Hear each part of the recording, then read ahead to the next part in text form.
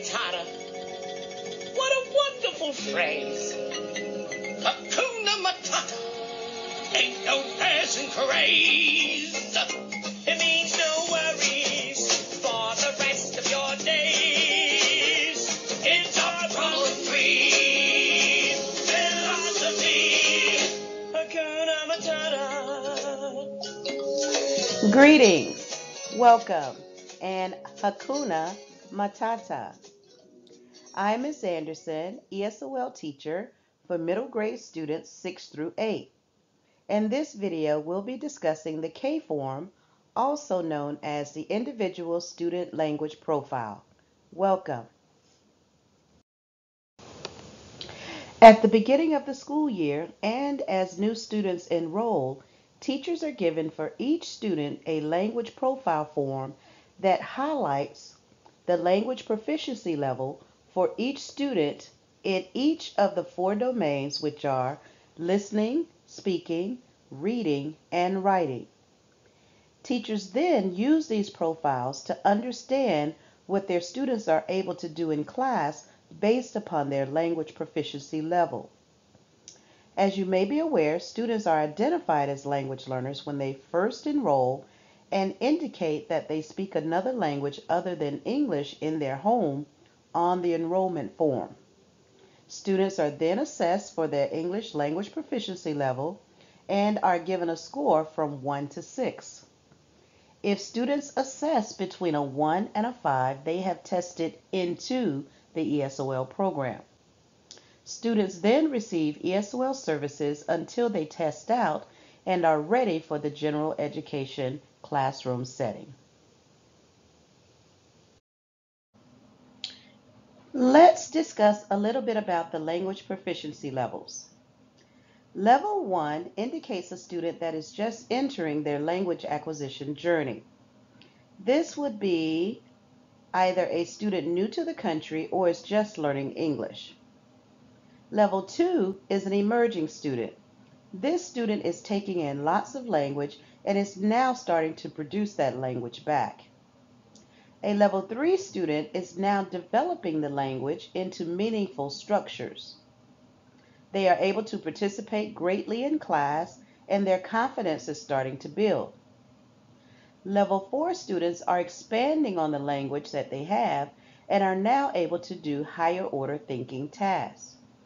It is here that a student tests out of ESOL and move into level 5 where they are bridging over to their native speaking English peers. The ESOL team monitors newly exited students to make sure that they are bridging well in their gen ed classes. Level 6 is a student that has no language issues in this domain whatsoever. As you can see, for each language level, and for each domain, it lists what students are able to do in the classroom. This is key for you as their teachers because if you give a student a task that they are not yet able to do because of their language level, then you are not expecting them to be successful.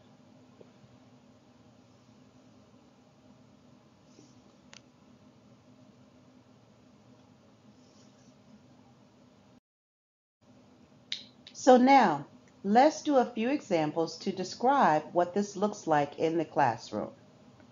Let's start with a level one or a newcomer, as you may hear, what they can do in the classroom.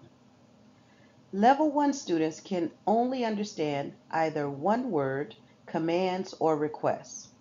For example, you can say point, or draw, or repeat, and remember, these are the words that are taught to students in their ESOL classes. We teach them to listen for these words in their content classes, so if you, their content teacher, are using these words, students will be successful in both learning the language and the content. A level 2 student can not only follow basic commands and requests, but can also follow multi-step commands. Now, so long as the commands are clear and modeled. Between level 1 and level 2, we have what is called the silent phase. The silent phase is the period of time for a language learner to build confidence in producing and speaking English. So, if your student is not doing a lot of speaking in class, don't be alarmed because this is totally, totally okay. The silent phase can actually last up to a year or even two years in order for students to start producing language and speaking. This is actually a celebrated time in the ESOL classroom, and we make a big deal when we hear students' voices for the first time and they begin to use the language that they have learned. So just remember that between levels one and two, students are taking in a lot of language and they may not be able to produce that language, although they have it inside of them.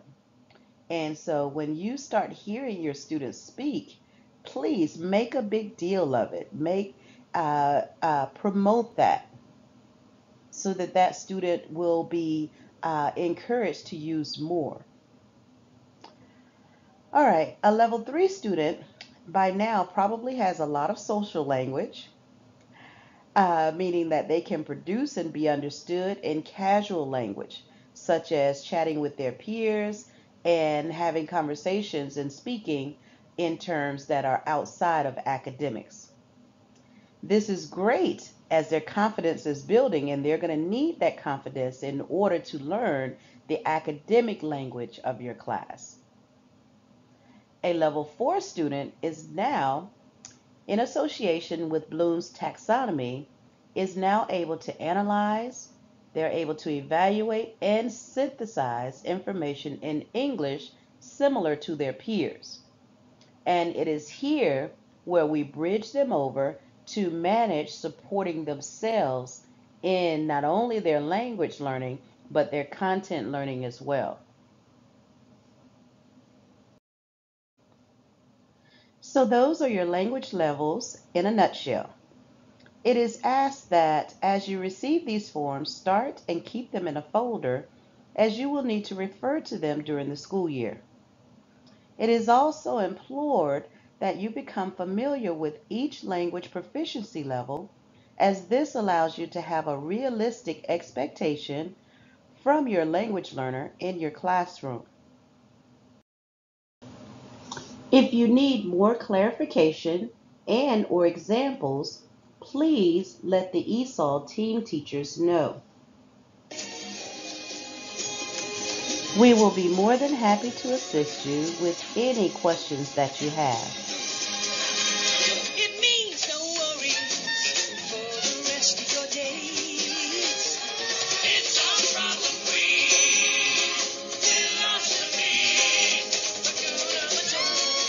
Thank you for listening and Hakuna Matata.